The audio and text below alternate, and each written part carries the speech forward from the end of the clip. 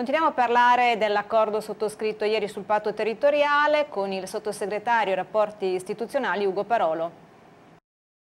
Sottosegretario Parolo, lei ha detto che 8 miliardi, oltre 8 miliardi di euro potrebbero essere in circolazione se non ci fosse il patto di stabilità. Allora come sbloccare un par una parte di questi 8 miliardi e mezzo?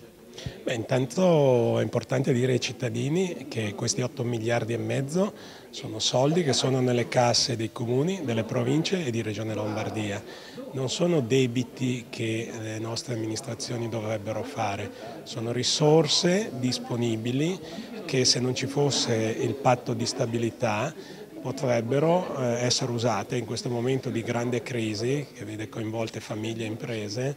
per far ripartire l'economia. Il motore Lombardia è in grado di generare, di utilizzare subito questi 8 miliardi senza provocare ulteriore debito. Per concludere una sintesi dell'accordo di oggi, un plafond di oltre 212 milioni di euro suddiviso tra comuni e province e comuni circa 160 milioni, però destinate a diverse cose, a diverse funzioni, dal terremoto all'Expo e altro. Sì, ci sono dei criteri diciamo, di ripartizione che sono stabiliti in base a un,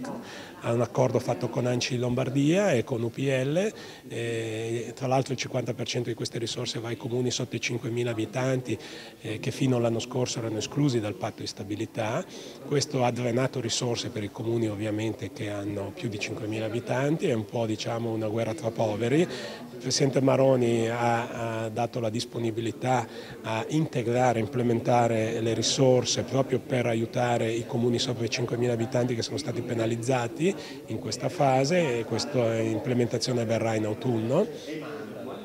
E, e, e, poi ci sono dei criteri di premialità in base alla virtuosità dei comuni eccetera. È un segnale importante che viene dato al sistema delle autonomie, non è la soluzione del problema perché evidentemente se si riescono a mettere in circolo 212 milioni di euro più altri 40-50 che reperiremo in autunno, eh, però ci sono 8 miliardi e mezzo di eh, residui fermi, cioè di risorse che potrebbero essere utilizzate, è evidente che stiamo parlando di una quota minimale, ma è il massimo sforzo che Regione Lombardia può fare in questo momento.